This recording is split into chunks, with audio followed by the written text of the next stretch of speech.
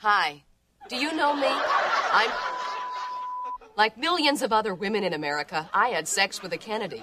So, in order to be special, I carry this the Equity Express card. That way, whether I'm getting tackled on a beach, watching a senator show me his briefs, or having my bra dusted for fingerprints, I can be sure the Equity Express card will be there for me.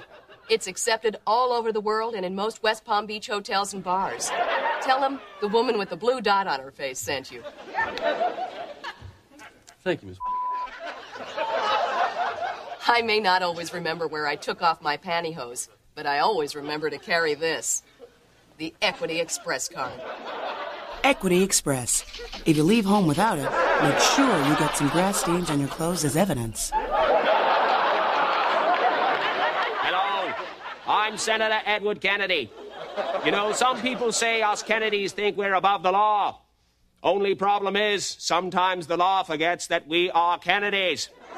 And that's why I carry this the Kennedy carte blanche. So whether I'm bailing relatives out of jail or just bailing water out of my car, whether I'm buying expert testimony or putting a high priced lawyer on retainer, with the Kennedy carte blanche, the sky's the limit. Most importantly, this card identifies you as a bona fide Kennedy, and that makes you above the law. So whether we're trying to pass the bar or just passing by a bar, when we get off, we get off scot free. Thanks to this. The Kennedy carte blanche. Don't leave the House or the Senate without it. Willie, keep it in your pants.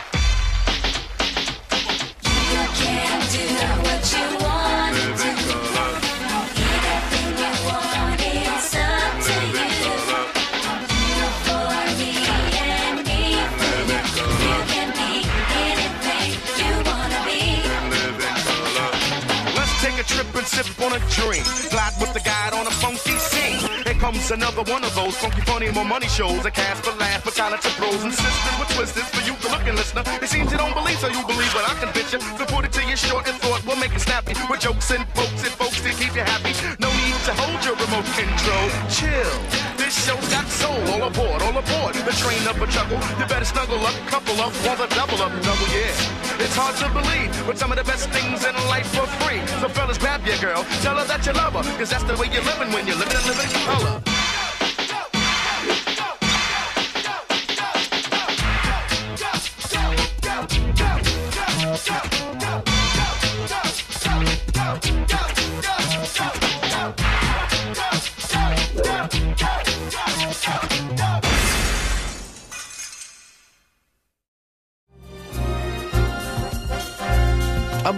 America's wealthiest people have made their fortunes in real estate. Now, one man can give you the safe, simple, sure way to financial freedom. Do you recognize this man? If you don't, you're not watching enough television. He's Tommy Woo. Hey, idiot! Rotting in your own filth!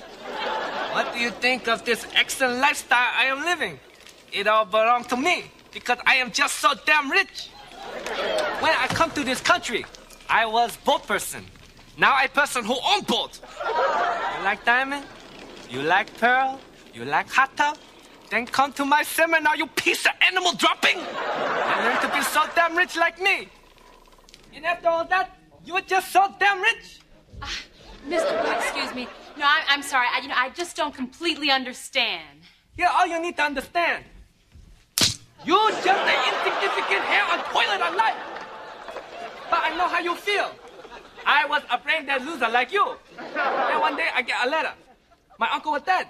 And he left me, Tommy Woo, $10 million. Why can't you do that? What's stopping you from being rich?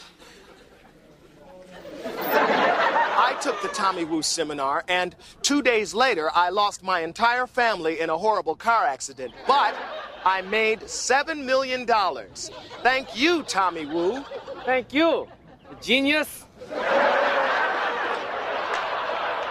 Move, you shut up and lay there.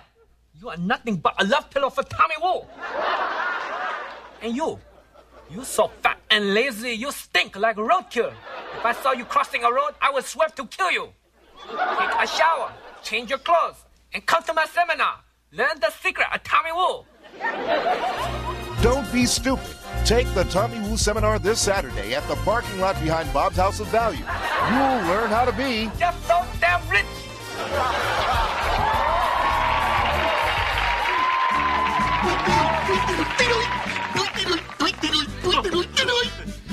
you know it's gonna take five clowns to do this act. Yep. Yeah, where's that replacement clown you were supposed to find? There he is! Oh. Hey! You're late! you go on in one minute! His name is Homie D. Clown. I'm his parole officer. Mm-hmm. He'll be filling in here as part of the work release program. Just keep an eye on him, huh? I gotcha. Heck Put her there, pal. Ah, gotcha. Just check him. you check again, I'm gonna bust your goofy ass.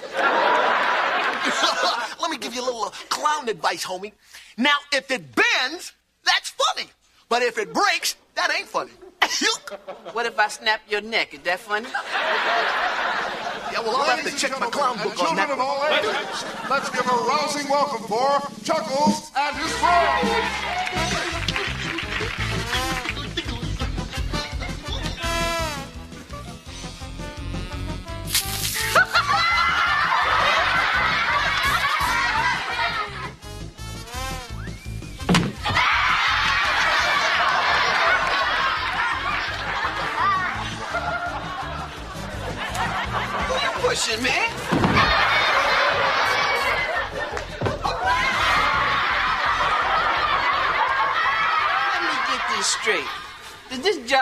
Me to debase and degrade myself for the amusement of these little children? Yep, you got it, kid.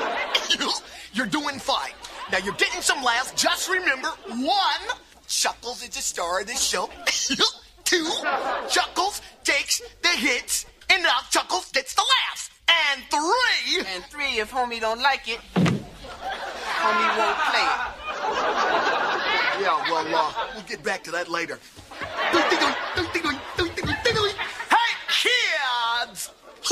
To see Flippo the Clown do a triple back somersault into this little glass of water? Can't hear you, kids! Y'all ready to see Flippo have a ball? Yeah!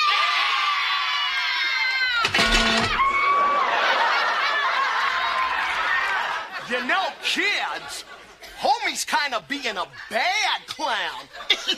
now, you know what we do to bad clowns? Now, that was funny.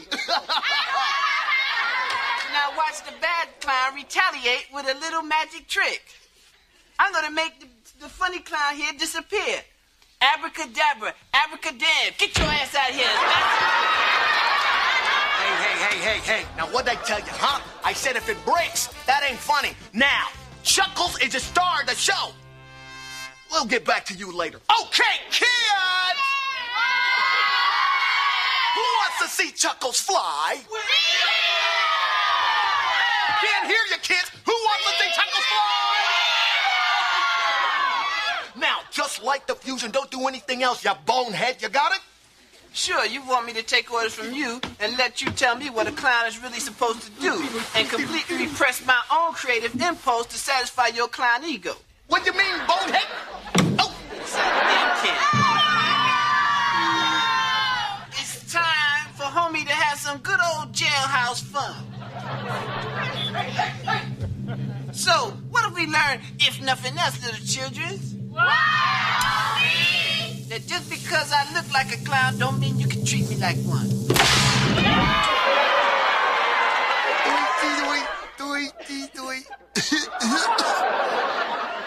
okay, while we sweeping up what's left of Chuckles, why don't we sing the Chuckle the Clown song? Why yeah! Sing along with me. Chuckles the Clown. Chuckles the Clown. Love to mess around. Love to mess around. That's why Chuckles is splattered on the ground. He thought I was his tool. He could treat me like a fool. But homie showed him that he ain't nobody sucking, won't be ill treated by no low life. Two dollar minimum wage, making stupid jackass like him. Y'all better sing this damn song.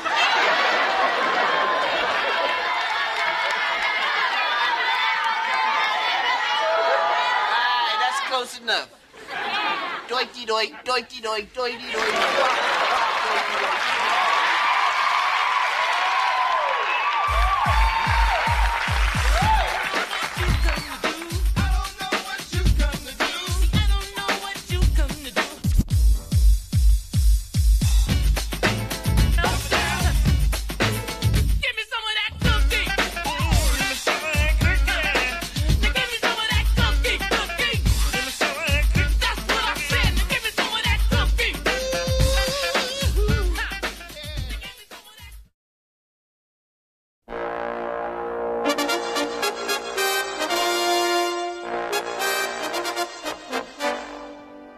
For years now, black entrepreneurs have greatly contributed to the success of big business in this country without receiving full credit for some of their groundbreaking innovations.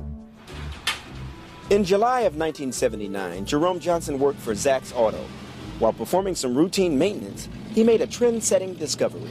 Hey, Jerome, man, now look, be careful, man. Look, I tried to get that nut off that oil pan earlier, but it was just on too tight. Hey, look, man, I know what I'm doing. I've been doing oil changes since I was 13. See, all I gotta do is get a good grip on this. Oh.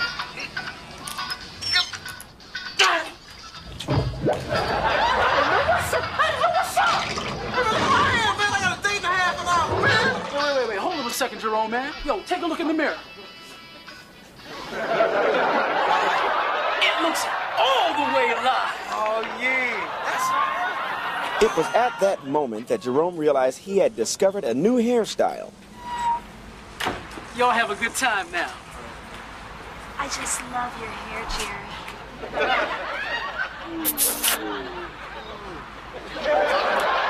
Pull! So today we salute Jerome Johnson, inventor of the Jerry curl. I'm Tommy Davidson, and this has been another great moment in black history.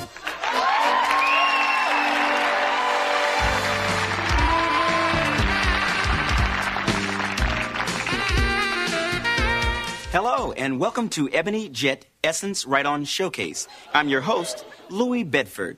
Tonight, in the tradition of Spike Lee, John Singleton, and Matty Rich, we're going to meet one of the newest young black filmmakers to make his mark in Hollywood. We're on location on the set of his latest film. Please give a warm Ebony Jet Essence Right On Showcase welcome to Jamil Jamal. Jamil, thanks for joining us. You seem awful young to be a filmmaker, only seven years old. See, that's where you're wrong. I'm seven and a half. Okay, seven and a half, and you already have your own production company? That's right. It's called 40 Candy Bars and a Bike. You see, I started this company because there's no blacks in kids' TV. Uh, can you give us an example? Yeah, the Flintstones. Are you telling me there were no blacks in the caveman times? Who the hell did Fred get those ribs? The big ones that tipped over his car? You don't get those at the mall, man. But that's just one example. What about the Jetsons? What? There's no black people in the future either? Man, all they had to do was flip two letters and Elroy could have been Leroy. So you're saying there are no black characters in children's programming? Just one. The brother on the Roadrunner. Willie Coyote. Oh, you mean Wile E. Coyote. He's a brother? Yeah, and look what they did to him. He didn't have no job. He was always buying stuff. You never know where he got the money. And all he wanted was a little golden bird for dinner. I can go on. I've got charts, graphs, diagrams, and reports to back up what I'm saying. Well, let's see him. Uh, my dog threw up on him. Now, many have called you the young Spike Lee, the next John Singleton. That stinks, man. I'm nothing like them. They don't understand my pain, my suffering. I can't drive. I can't stay up past eight. Man, I'm wearing Care Bear underpants. Look, I understand, Jamil, that we have a clip from your film. Would you mind setting this up for us? Sure. I made this movie for my people, the kids. It's a story of a boy who stands up for his rights against a man. It's called The Three Little Pigs. Open up, Mary. We know this is a Cracker Jack house. No way, three little pigs. You're not gonna treat me like you treat Willie Coyote. That's it. You don't open up, we're gonna huff and puff and run your butt in. Just because I'm black doesn't mean I'm a Cracker Jack dealer. I'm a positive role model. I'm not afraid of nothing. Oh, that's it. I'm gonna tell your mom. Ah! There's a very powerful message there, Jamil. What does it mean? The message is this Buy my three little pigs hats, shirts, and video games. I learned that from Spike Lee. And watch for my next film, Little Red Riding in the Hood. Thank you, Jamil, for joining us. And thank you. Join me again on the Ebony Jet Essence Right On Showcase. I'm your host, Louis Bedford. Good night.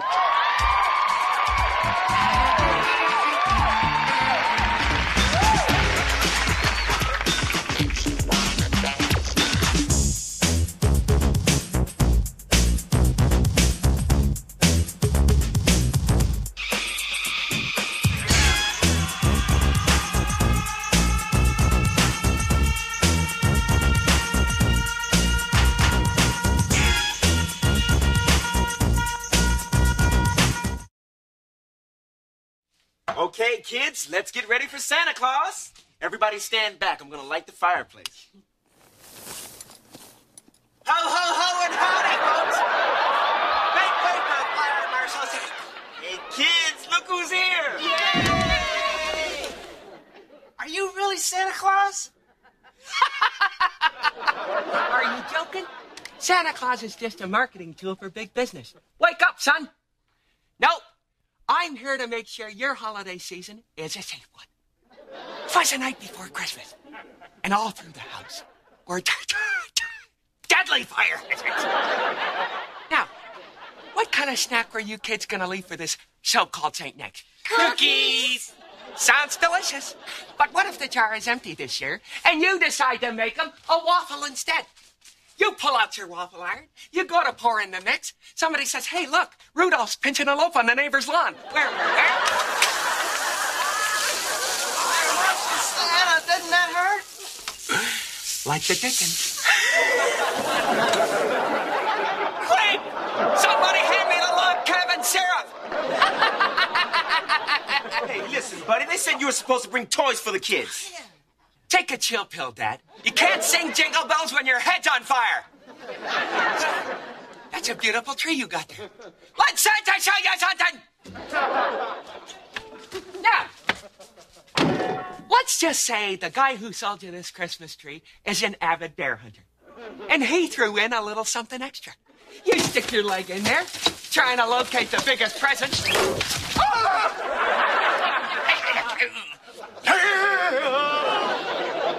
Marshal Santa, are you okay? Ho, ho, ho. Nothing a little eggnog and Demerol won't fix. But What about our toy, Santa? I bet I know what you want, little darling. What? A Barbie Power Wheels car. Oh, yay! Hold it, Curly Sue! A go kart like this can be a lot of fun, but it can also be a fiery death trap on the highway to hell. Let's just say there's an outbreak of psychosis at the North Pole, and a demented elf switches your little battery with a V6 350 horsepower fuel injected turbo engine! Like so! You're having a manic depressive episode. You think you're Tom Cruise in Days of Thunder? You jump in the car, put your pedal to the metal, and hold on, Barbie!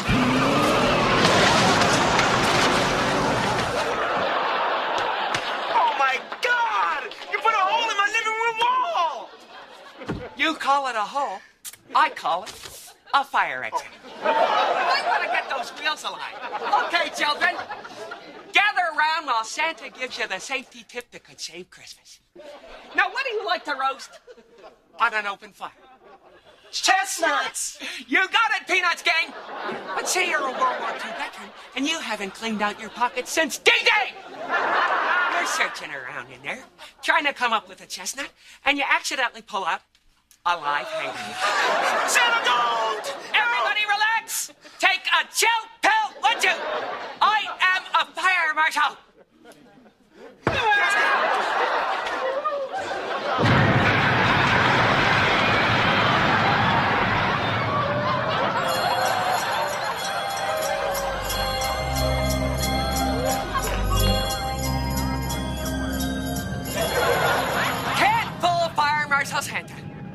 He sees you when you're sleeping, and he knows when you're about to combust. Idiot. I don't have any fire insurance. Well, now you know what to ask for next Christmas. hey, there's some young tykes building a snowman. Oh, they're right there, kids. I think Frosty could use a much bigger nose. Let Santa show you something. Hey,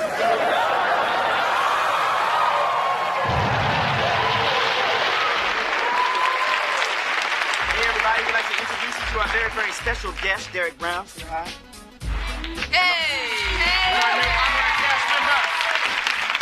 And on behalf of everybody here at In Living Color, we'd like to wish you a very happy, Happy holidays.